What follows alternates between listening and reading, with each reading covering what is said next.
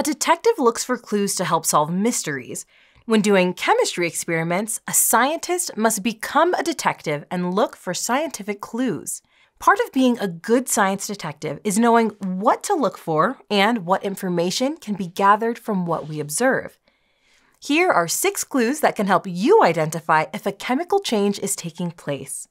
The first clue of chemical change is bubbles. These tiny messengers can tell us that a gas is being produced. For example, when vinegar and baking soda are mixed, bubbles are produced as carbon dioxide gas is released.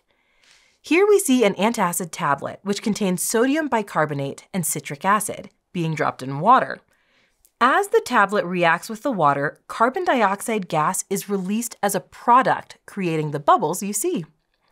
However, Bubbles do not always indicate a chemical change. You also see bubbles in boiling water, which is just water changing phases from a liquid to a gas.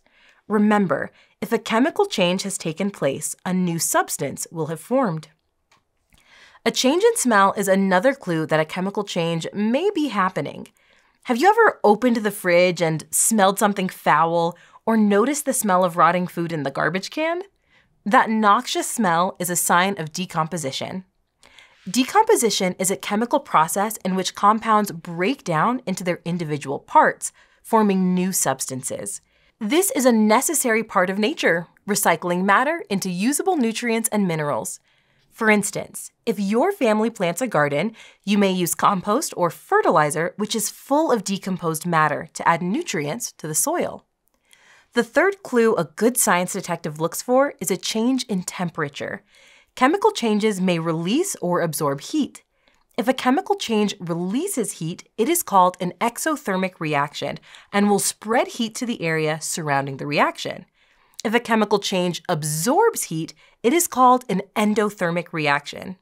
In this case, heat is taken into the reaction, leaving the surrounding area colder.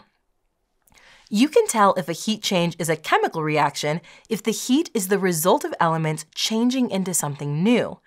A burning match is an exothermic chemical reaction because the heat is a result of new substances being formed, ash and smoke. A change in color is another clue of a chemical change. You can easily see examples of this in daily life. Bananas change from green to yellow to black as they decompose. Another example of color change as a clue of a chemical change is the production of rust on metal. This change is called corrosion and happens when metals deteriorate as they react with water vapor and oxygen in the air. Occasionally, a solid will form in a liquid because of a chemical reaction. The scientific term for this is a precipitation reaction, and it is another chemical change clue. The solid is called a precipitate and will not dissolve. In this image, a precipitate has formed in a liquid. Sound is our final clue of a chemical change. Two examples are the sizzling sounds when food is being cooked and the popping sounds of a firecracker. When a firecracker is lit, the heat causes the solid compounds inside to react with each other. Gas is produced and a loud boom is heard as the firecracker explodes. The world we live in is ever changing. Clues to these changes can be found all around us, and we can observe these changes by always looking and listening closely like true science detectives.